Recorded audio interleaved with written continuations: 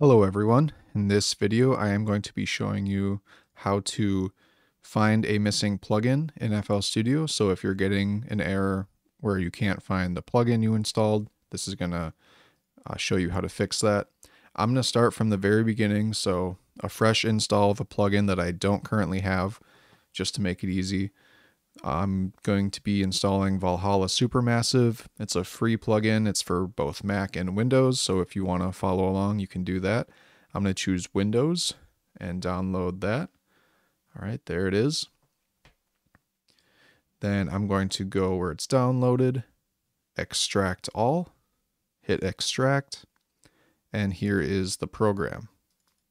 Double click to run that, hit yes, and you can see these are all 64-bit plugins. You're going to want to run a 64-bit version of FL Studio to use these plugins.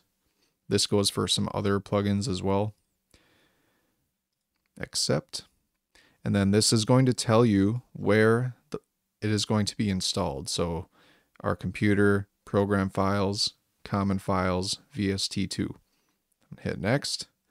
And then this is VST3 same place, hit next, and install.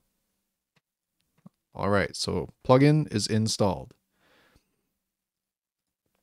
Now the next step is we're going to go over to FL Studio. We're going to go to Add, and then Manage Plugins.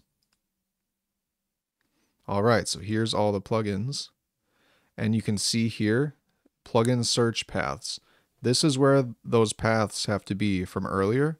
And here they are right, right now. So you can see program files, common files, VST3, and that is exactly what we want. And here's VST2.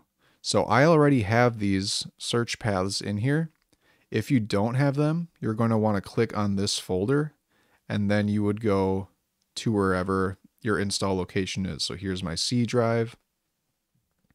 All right. And then we have program files, common files, VST2, VST3. So these are where my plugins that I just installed are. That's where they're located and that's what needs to be imported here in the search paths. Otherwise they will not show up. Now I'm going to just click find installed plugins once I have the search paths here.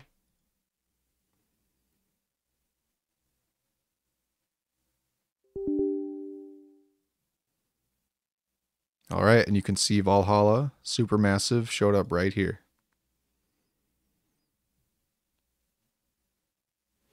There it is again. So VST, you have different versions.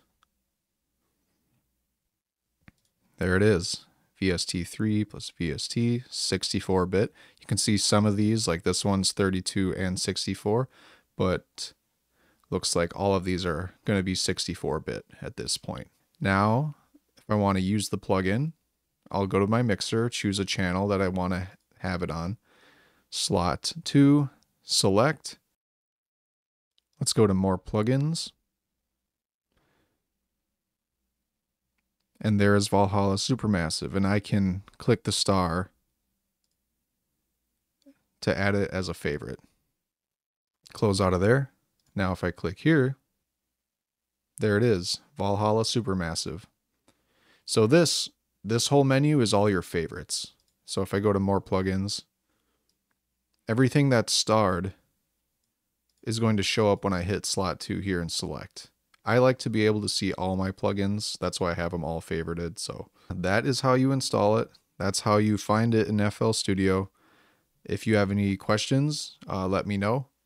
Uh, leave a comment below and make sure to subscribe. I really appreciate it. I'll see you in the next one.